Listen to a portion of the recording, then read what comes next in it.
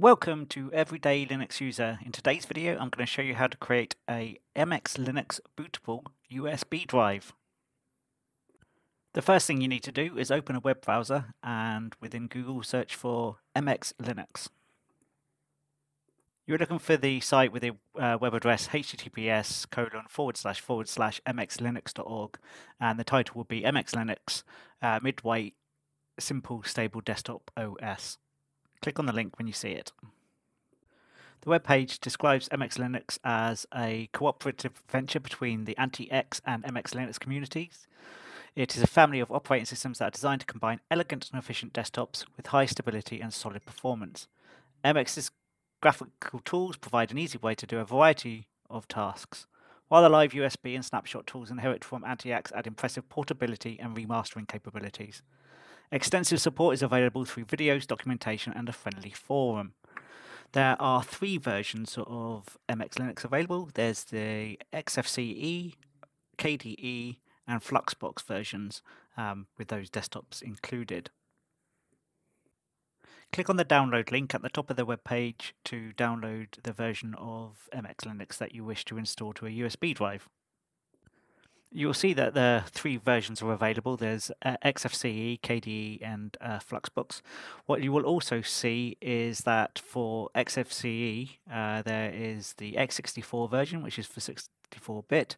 There is the 386 version for 32-bit, and there's the AHS version for advanced hardware support, which is basically the same as the um, x64 version, but uh, with a newer version of the kernel.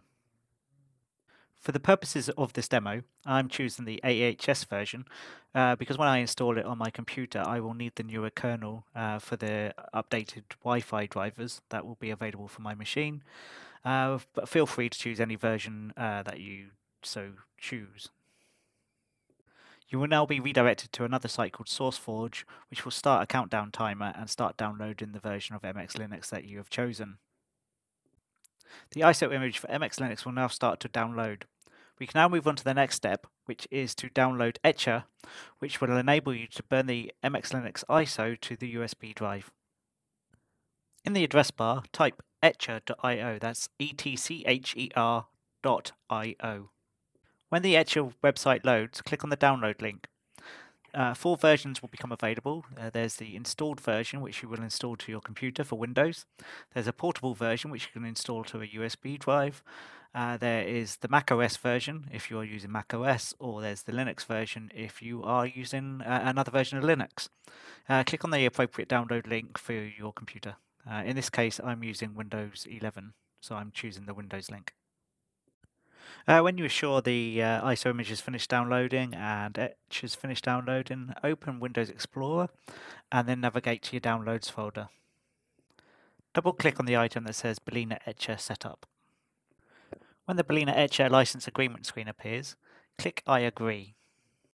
It is worth noting that at this stage the installer may actually minimize itself so you don't see it, but if you look along your uh, Windows taskbar there is an icon for Balena Etcher setup and if you click it you'll see the progress bar as you'll see on my screen.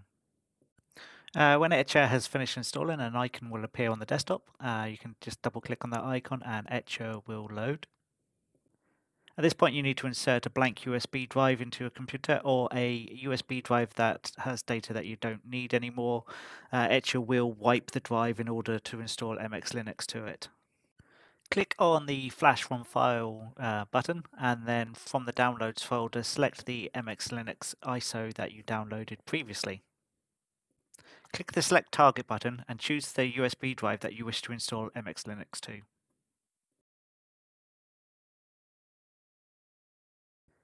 Click the flash button and Etcher will write MX Linux to the USB drive that you have selected.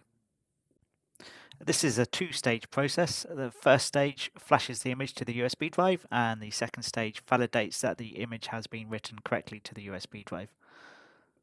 Uh, the actual process takes quite a while, so you can uh, go away, get yourself a drink, come back in about 15 to 20 minutes, and then the process should be complete.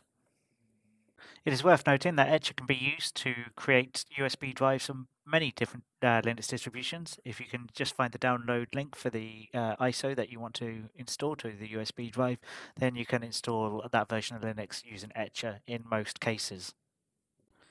A message will appear saying that the flash is complete and you can now use your MX Linux USB drive.